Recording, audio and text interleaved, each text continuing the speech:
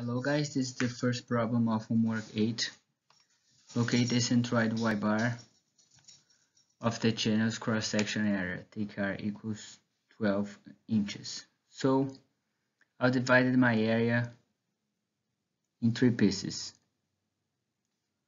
One, two, three.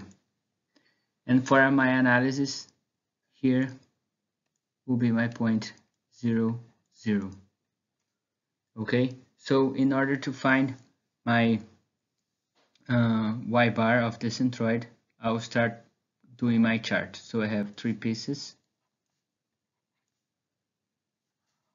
And then I'll have my area of the three pieces area and my centroid of each piece. So 1 is 4 times 2 8 inch square and my height is the middle of my rectangle so 2 inches.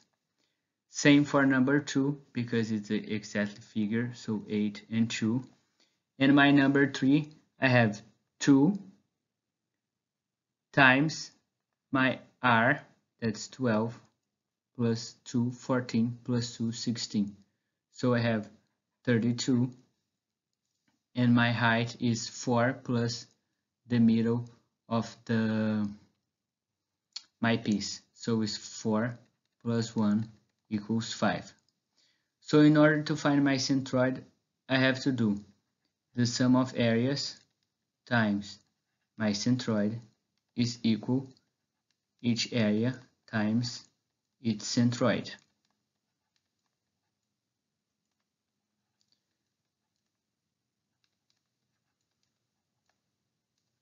So we have our centroid is equal 2 times 8 plus 2 times 8 plus 32 times 5 over 48. So I have my y bar equal 4 inches. But my question is saying I want my y bar from the top. So how can I find my y bar?